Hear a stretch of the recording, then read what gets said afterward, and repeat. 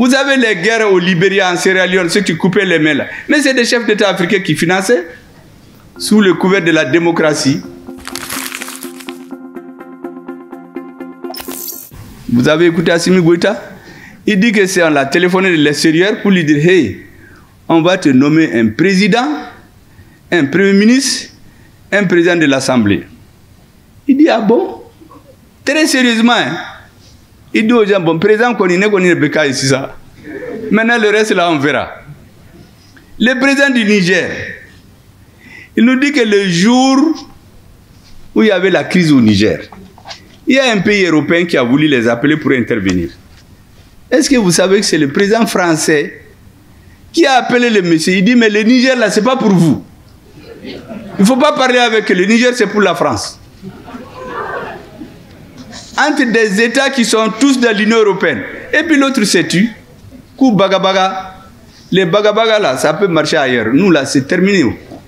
Il n'y a plus ça chez nous. Bon, quand dans un État, vous savez que les militaires là, ils sont tellement discrets. Notre président n'a pas donné les noms des quatre personnes là qui devaient être président, premier. Ils sont là, moi je les connais pratiquement. Il ne m'a pas dit, mais je les connais. Parce qu'en réalité, ils ont leurs gens ici.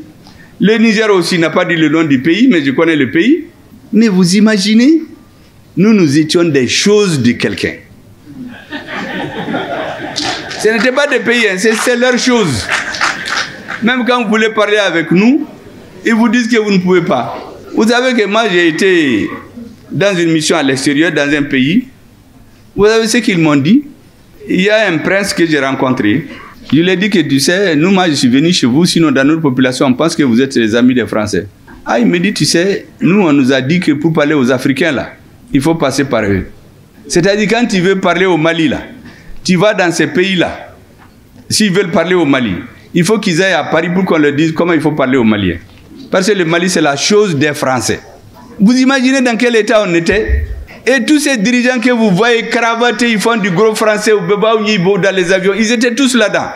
Abbé, des vauriens qui font des années là-bas et échouer dans les classes. Ils vont dans les bibliothèques pour étudier les formules latines là, nous impressionner. Ah, mais tu vas pour Fodé. Kassoro feuille. Il y a feuille. Il ne peut pas leur dire non. Si on leur dit de s'asseoir, ils s'assoient. On lui dit de se lever, ils se lèvent. Quand il vient en Afrique, il fait du bruit. Quand on va là-bas, on le tape sur les épaules. Ça, ce n'est pas des présidents. Ces présidents-là, c'est fini au Mali. C'est pour mettre fin à ce système-là qu'on essaie de diaboliser nos présidents. Et vous ne devez pas accepter.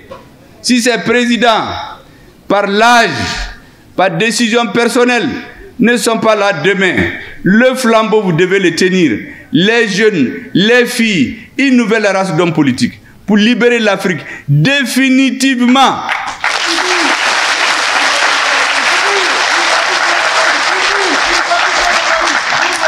Le dernier thème dont je vais vous parler brièvement, c'est comment est-ce que tout ça s'est organisé. La camisole, vous croyez que c'est venu comme ça? C'est de longue date de très longue date. Je vais vous faire un rappel. En septembre 1884, s'est tenue à Berlin une conférence qu'on appelle la conférence de Berlin sur le partage de l'Afrique, qui s'est achevée en février 1885. Ils avaient deux résolutions. La première, en Afrique, il y a deux grands fleuves. Un s'appelle le Niger, l'autre s'appelle le Congo. Il faut qu'on aille les aider à régulariser la circulation sur ces fleuves. Première conclusion. Deuxième conclusion, nous allons partir nous entraider. La France va apporter la mission civilisatrice de la France. L'Angleterre va apporter les trois C, la civilisation, le commerce, le christianisme. Voici les conclusions de la conférence de Berlin. Les Russes étaient là-bas. Ils ont réuni 14 nations. Les Américains étaient là-bas. Les Américains leur ont dit, mais les Africains, là, il n'y a personne. Mais c'est les Européens qui décident. Dans les relations internationales, c'est une question de rapport de force. Le roi de Belgique, on lui a donné le Congo comme propriété privée. La route Congo-Océan, là, ils ont tué plus d'un million de Congolais pour construire la route. Mais aujourd'hui, ils disent que c'est eux qui ont civilisé les Congolais. Un million, ils sont venus. Une fois qu'ils se sont installés, on a oublié les fleuves Niger, on a oublié les 3C, on s'est mis à tuer les gens, à faire la guerre, coloniser, opposer les gens, retirer les richesses.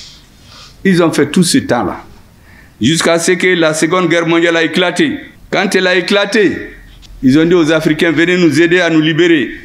Une fois qu'on est libre, vous aurez l'indépendance. Avant, on croit que les Africains, ils fuient.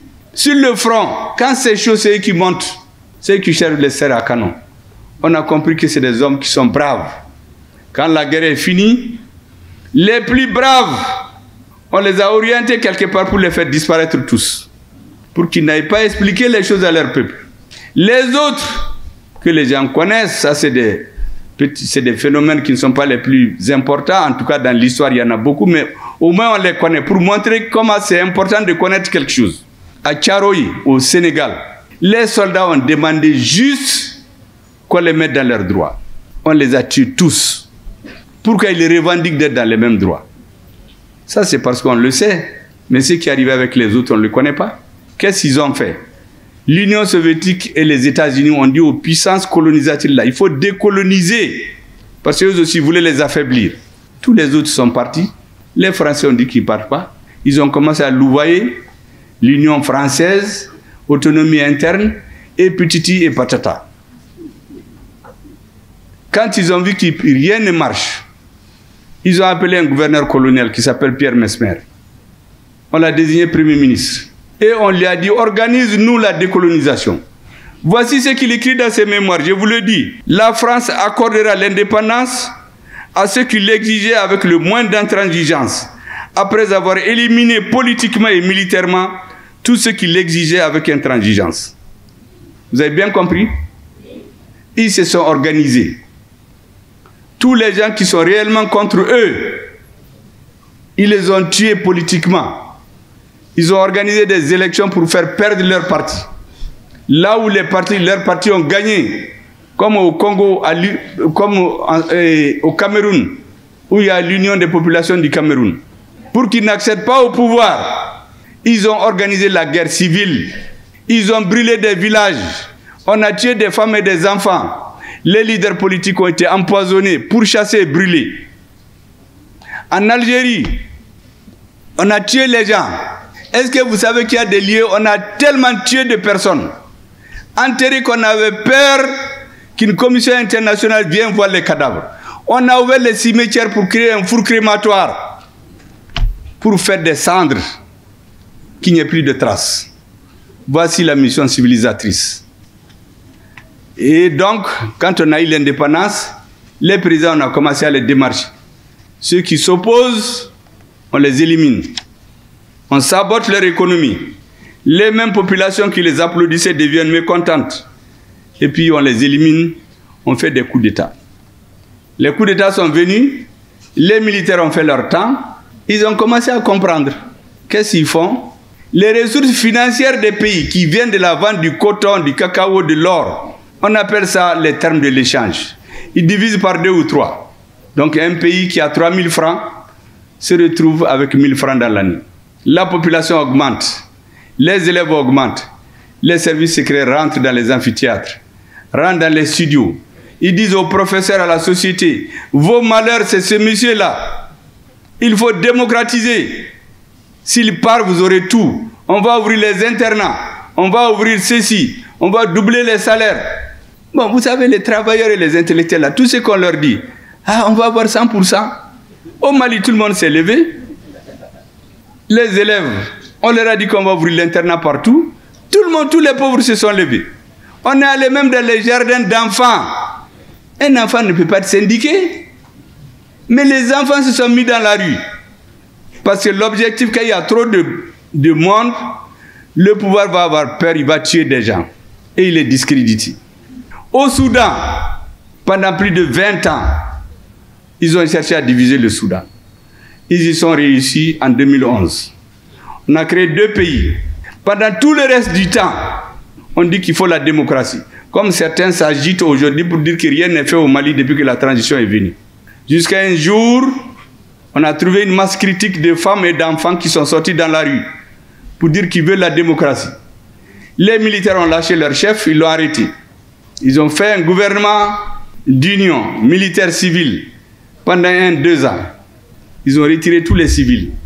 Les militaires, ils les ont poussés. Regardez le Soudan maintenant. Les gens qui parlaient de démocratie, ils sont tous morts. D'autres ont fui. C'est les militaires qui sont en train de se détruire. Ils ont détruit leur pays. J'ai fait cette parenthèse pour dire que quand les militaires ont compris ça, ils ont dit que mais ces militaires-là, il faut qu'on les enlève. On a dit qu'il faut la démocratie. La démocratie est venue. Dans un pays de 10 millions d'habitants, il y a 200 partis. Mais ça, c'est quoi ça? On a commencé les guerres civiles. Vous avez les guerres au Libéria, en Sierra Leone, ceux qui coupaient les mains là. Mais c'est des chefs d'État africains qui finançaient. Sous le couvert de la démocratie, on a renversé les régimes. Remarquez seulement, tous les pays de l'Afrique francophones que je sais, sans exception, prenez-les. Rwanda, Burundi, Zaïre, Congo, Tchad, Centrafrique, Niger, Algérie, Mali, Côte d'Ivoire, tout Burkina. Dans tous les pays, on a changé le pouvoir après la conférence de la Boule. Il y a eu des coups d'État, des guerres civiles et destruction du système éducatif et du système militaire. On a détruit l'État, on a détruit l'armée, on a détruit l'école. L'étape suivante, les armées étant affaiblies, on dit il faut aller lutter contre le terrorisme. Voilà comment ils font dans nos pays.